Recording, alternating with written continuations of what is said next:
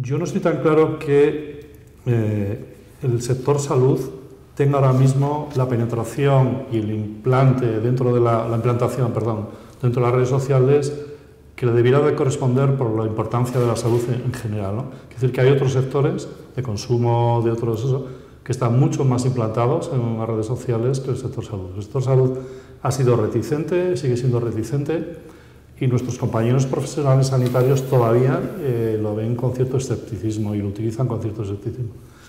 Y yo aquí sí que no lo entiendo. No lo entiendo porque, eh, igual que los profesionales sanitarios, bebemos de fuentes eh, como puede ser el New England Medi Journal of Medicine, que precisamente este año celebra el 20 aniversario de su presencia online, lo siguen leyendo en papel, no lo siguen leyendo esto, ¿no?